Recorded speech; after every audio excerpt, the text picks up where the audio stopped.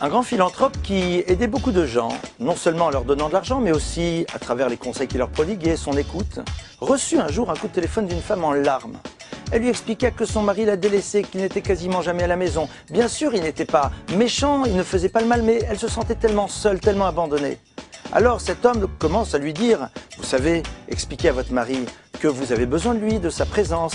Racontez-lui votre difficulté à vous sentir tellement seul, afin qu'il réalise que lorsqu'on aide les autres, il faut d'abord aider ceux qui sont juste à notre côté. Je suis sûr qu'il comprendra cela.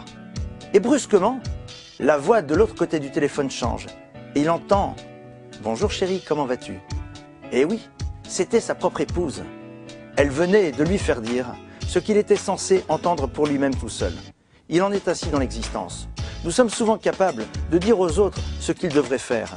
Et c'est souvent très juste.